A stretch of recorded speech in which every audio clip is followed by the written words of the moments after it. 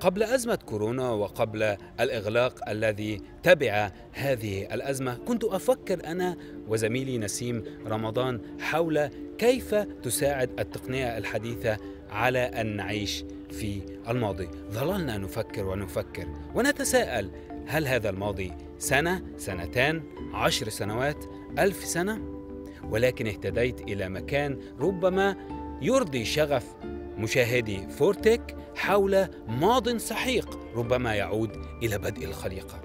سأذهب إلى المرصد الوطني في جرينتش هنا في العاصمة البريطانية لندن.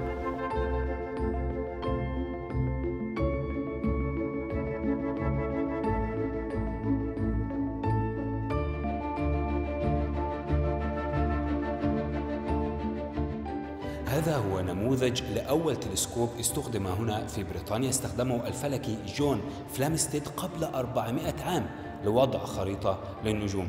هل تعلم أن الضوء الذي تراه لأحد النجوم هو ليس ضوء يخرج من النجم الآن إنه ضوء خرج من النجم قبل 270 مليون سنة؟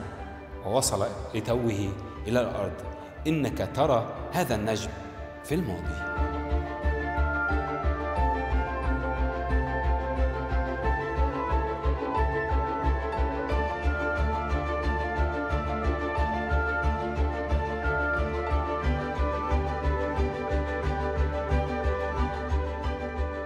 أنا هنا في غرفة ال Great Equatorial Telescope وهو التلسكوب القديم هنا في بريطانيا في مرصد جرينتش ومعي هنا بانيارد وهي إحدى عالمات الفلك هنا في المرصد سأسألها عن كيف تطورت التلسكوبات الفضائية وساعدتنا على رؤية المزيد من الماضي السحيق الخاص بالفضاء. Yeah, absolutely. So the first easiest example في الماضي كان النظر للأجرام السماوية بالعين هو وسيلة معرفتها. ولأن الشمس تبعد عنا 150 مليون كيلومترا فإن ضوءها يستغرق ثمان دقائق ليصل إلينا. وفي القرن السابع عشر تمكن التلسكوب الخاص بغاليليو رؤية جبال القمر الذي يبعد 370 ألف كيلومترا من الأرض.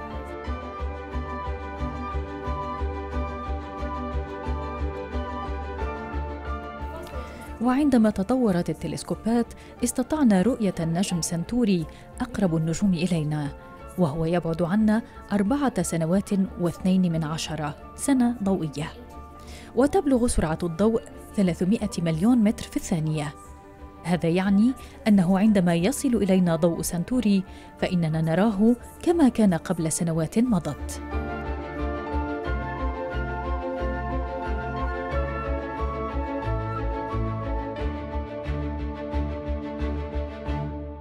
حدثتني عن التلسكوبات المتعددة ولكن ماذا عن التلسكوب هابل الذي يعد أقوى تلسكوب موجود حاليا؟ But as telescopes have developed even further, we have the likes of the Hubble Space Telescope.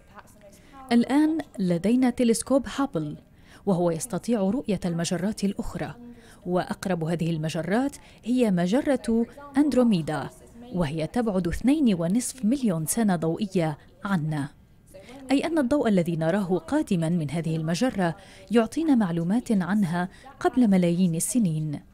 فإننا بالقطع نراها كما كانت في الماضي.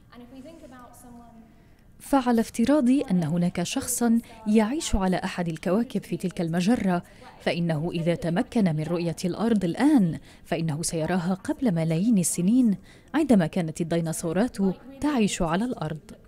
إذا كنا نستطيع أن نرى أشياء حدثت في الفضاء بعد 270 مليون سنة من حدوثها هل يمكن أن آه، نذهب في الفضاء ونرى أشياء حدثت على الأرض من ملايين السنين؟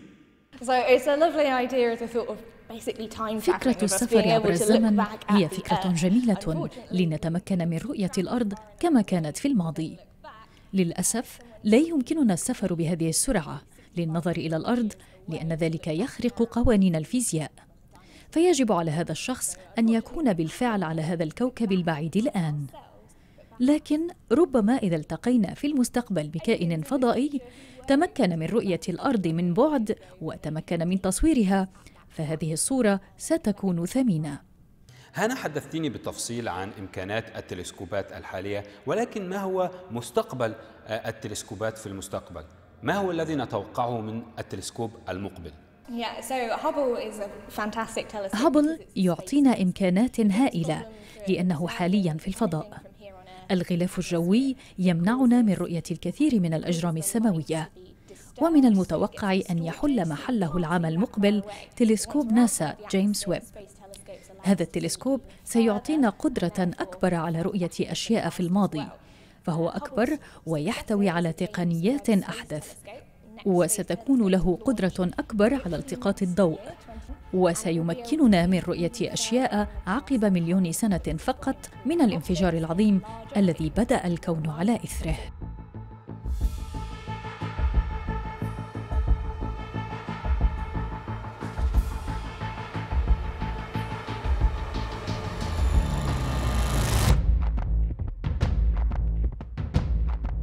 التقنيات الحديثة تساعدنا على معرفة ما يحدث في الفضاء وما حدث في الماضي السحيق.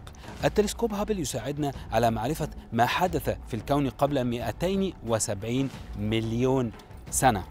التقنيات الحديثة تساعدنا على التقاط الأشعة تحت الحمراء لمعرفة معلومات عن الكون حدثت قبل 13 مليار سنة أي عندما كان الكون عمره فقط 350 ألف سنة.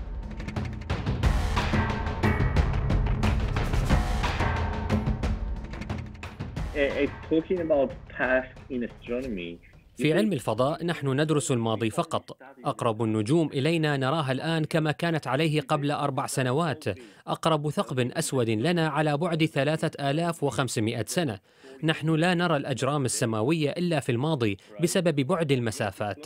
سوف ننظم محاضرة في مهرجان ستارموس للفضاء في أرمينيا العام المقبل. تهدف إلى بناء خريطة لتطور الكون الذي يمتد أكثر من 13 مليار سنة. فكلما ذهبت بعيدا في الفضاء كلما كان ذلك أقدم So what do we expect uh, to to uh, detect or to know from that mapping? What this mapping is expecting to tell us about uh, the development over the years for the universe? Yeah. It's expecting to tell us the evolution of the universe. من المتوقع أن تخبرنا هذه الخريطة عن كيفية تطور الكون حيث سنرى مجرات ليس بها أي نجوم وسنرى أنواعا قديمة من النجوم ليست موجودة في مجرتنا كما أن الثقوب السوداء القديمة تختلف عن الثقوب السوداء التي تنشأ حديثا.